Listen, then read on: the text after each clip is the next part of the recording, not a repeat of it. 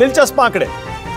राहुल गांधी से जोड़कर जब हमने ये पूछा कि भारत जोड़ो यात्रा से मध्य प्रदेश में कांग्रेस को फ़ायदा होगा साढ़े तैंतालीस फ़ीसदी लोग कह रहे हैं हाँ करीब अड़तीस फ़ीसदी लोग कह रहे हैं नहीं और 18.7 यहाँ भी साढ़े अट्ठारह से ज़्यादा परसेंट लोग कह रहे हैं नहीं कह नहीं सकते।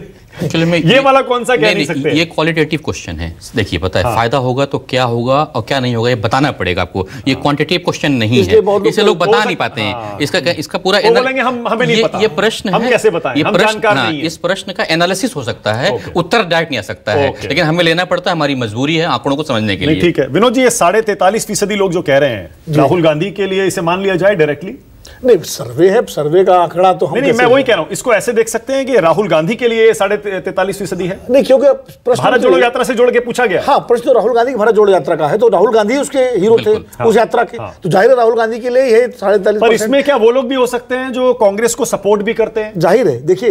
ये सिर्फ़ राहुल का आंकड़ा नहीं है मतलब। नहीं नहीं देखिए इसमें कमलनाथ कांग्रेस सब जो, जोड़ के जो कांग्रेस के सपोर्टर हैं वही होंगे लेकिन महत्वपूर्ण बात यह है कि बहुत सारे कांग्रेस के सपोर्टर ऐसे भी इसमें होंगे जो पहले राहुल गांधी को शायद नापसंद करते रहे हों लेकिन अब साथ में हैं। भारत जोड़ो यात्रा का इम्पैक्ट है ये। जो बहुत एक बड़ी संख्या कांग्रेसियों की रही थी भारत जोड़ो यात्रा से पहले जो राहुल गांधी को लेकर तमाम किंतु परंतु लगाते थे अब क्या करें।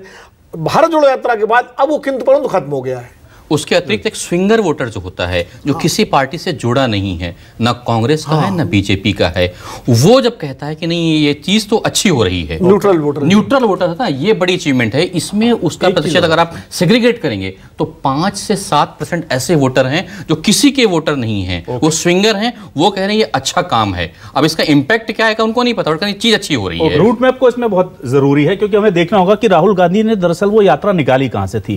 वो वो इलाका था मालवा और निमाड़ का जो कम्युनल तौर पर बहुत सेंसिटिव माना जाता है। बीजेपी का गढ़ रहा। है और बीजेपी का गढ़ रहा है लेकिन वहाँ पर हाल ही में जितनी भी कम्युनल टेंशन मध्य प्रदेश में कम होती है लेकिन जितनी भी जगह हुई है ये मालवा निमाड़ की पट्टी थी। वहाँ महाराज वहाँ से एंटर करते हुए राजस्थान से निकलते हुए जब ये गए यहाँ पर एक और बड़ी चीज़ थी। मैंने बार बार कहा कि मध्य प्रदेश में इमोशनल जो कार्ड्स होते हैं वो बड़े खेले जाते हैं। आपको मैं याद दिला दूँ कि यहाँ पर प्रियंका गांधी ने आकर के भारत जोड़ो यात्रा को ज्वाइन किया था। यानी राहुल का सिर्फ़ अकेला करिश्मा नहीं था यहाँ प्रियंका को भी बहुत चतुराई से एड ऑन किया गया था। महाकाल जी जी जी। तो वहाँ पर धर्म का तड़का भी था प्रियंका भी थी राहुल भी थी इसलिए शायद ये इम्पैक्ट इसका हमको ओके 40 थोड़ी देर में आपको बताऊँगा मध्य प्रदेश में हमारे इस सर्वे